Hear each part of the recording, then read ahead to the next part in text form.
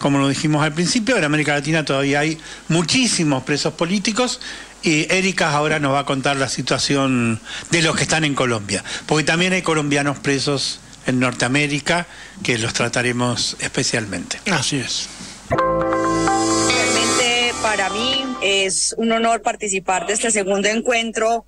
antiimperialista eh, por los derechos humanos. Es un espacio eh, muy importante para nosotros en este momento. Eh, más que pues lo que venimos viendo es que en el ejercicio de los derechos humanos eh, tenemos grandes retos en el país, pese a la alegría que pudo haber generado la, una primera victoria electoral. Nuestra realidad no ha cambiado mucho. Nosotros tenemos cifras del 2023 en las que 188 defensores de derechos humanos y líderes sociales eh, fueron asesinados en el país eh, 44 excombatientes eh, de, las FARC. Y este año vamos en 26 masacres con 83 vidas eh, perdidas y 72 líderes sociales asesinados con 10 excombatientes asesinados. Sí, o sea, la situación sigue siendo crítica. Esto es una política de Estado, más no de gobierno. Y en esa medida, pues no hay eh, una transformación real de, de, lo que son las condiciones de vida de la gente en los territorios. Eh, por el contrario, se ha venido agudizando eh, todo lo que tiene que ver con el fenómeno del paramilitarismo, que para nosotros es una realidad. Es el mismo paramilitarismo, no son grupos residuales ni las formas en las que eh, incluso este gobierno pretende hacerle el quite al tema y no enunciarlo de manera directa. Y, y en no enunciarlo de manera directa, pues permite hablar de esto como si fueran bandas, grupos y demás, cuando esto sigue siendo un fenómeno de una política de Estado que tiene un arraigo eh, profundamente económico, eh, que tiene unas condiciones de protección política y eh, que adicionalmente eh, pues tenemos una situación en la que la doctrina del ejército sigue siendo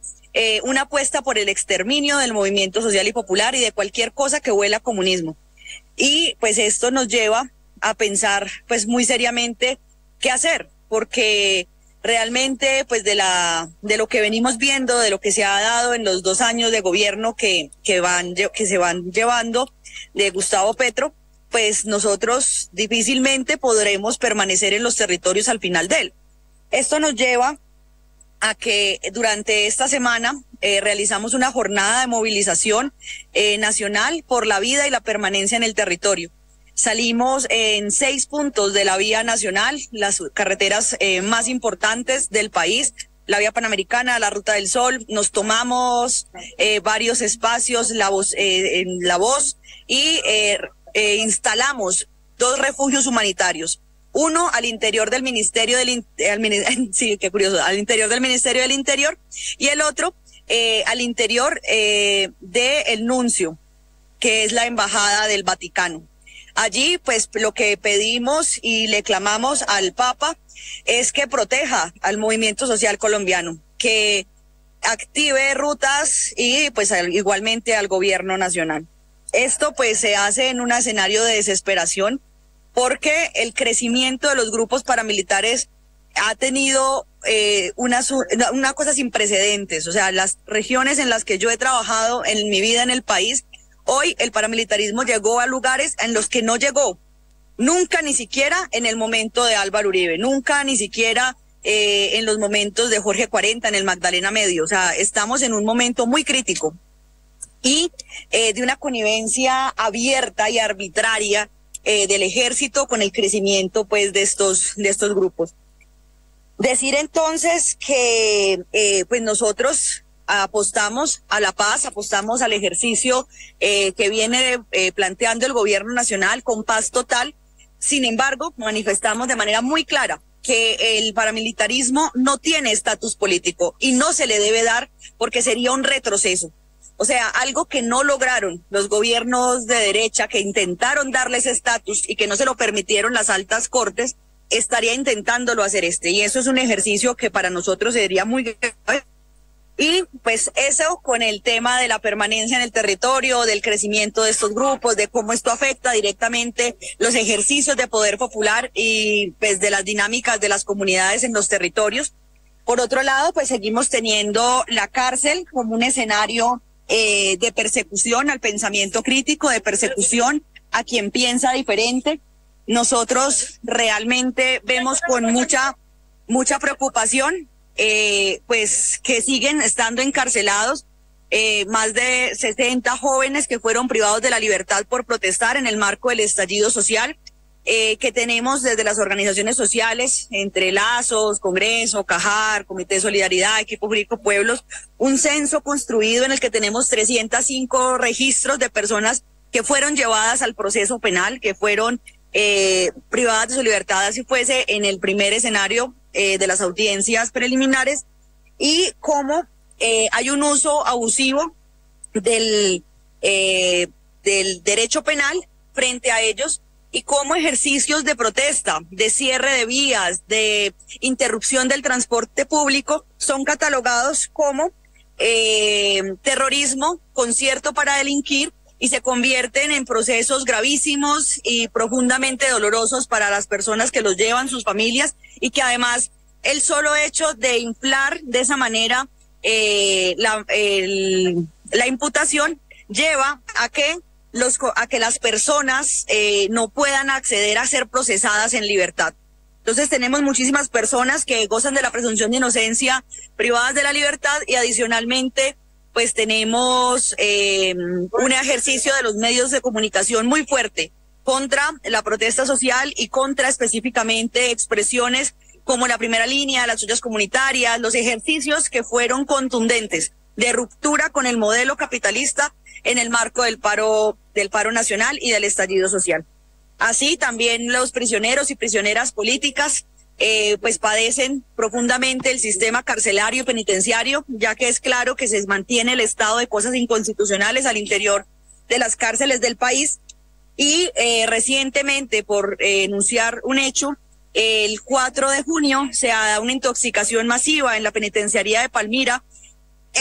solamente en el patio donde están presos políticos por razones del estallido social o por haber sido parte del de, eh, Ejército de Liberación Nacional. Ahí fueron eh, ellos intoxicados con algo que no se logró hasta el momento tener claridad y cuatro de ellos han fallecido. Eh, otros dos estuvieron en cuidados intensivos, lograron recuperarse, pero no se ha logrado entender qué fue lo que sucedió y pues a eso le queremos hacer una denuncia y que, que lo conozcan. Ya eh, mirando como todo este ejercicio de, del imperialismo, creemos es importante enunciar que desafortunadamente el gobierno de Petro no tiene un deslinde profundo con él, que por el contrario, en vez de reforzar su forma, sus factores de gobernabilidad con el poder popular, ha eh, buscado transar con los poderes tradicionales entre ellos con eh, los Estados Unidos. Y esto hace que hoy pues tengamos un gran riesgo eh, de un daño ambiental eh, de magnitudes pues impresionantes que es el avanzar en la construcción de la base militar en la isla Gorgona. Esto pues es muy grave y no se ha logrado parar de ninguna manera. Es un tema que el gobierno nacional tiene vedado y que se logró parar ahora recientemente a través de una decisión judicial por la falta de la participación. Sin embargo, eh, vemos cómo ya desembarcaron cualquier cantidad de cemento eh, en este espacio que tiene un ecosistema único y que de destruirse no tendría forma en los eh, en miles de años de volverse a, a devolver devolver sí eh, bueno ya para para terminar contarles que pues ah, viene siendo un tema importante en el país, el Laufer, que el presidente lo enuncia de manera, de manera recurrente, que nosotros hemos evidenciado que efectivamente si eh, vemos cómo se, se configura eh, y cómo él avanza, pues en este momento hay una matriz mediática profunda sobre eh, la, eh, la corrupción, sobre tachar a todos los funcionarios del gobierno como iguales, como de generar pues todo un ambiente mediático que permita un ejercicio eh, de este orden, pues que es lo que hemos ido evidenciando. También como las cortes han venido teniendo fallos en contra de eh, la bancada del pacto histórico en la que se han perdido curules y eh, otras formas en las que se han echado para atrás diferentes apuestas del gobierno nacional, entre esas el Plan Nacional de Desarrollo, que tuvo que eh, volverse a, cursar en el Congreso para saldar un vicio de trámite.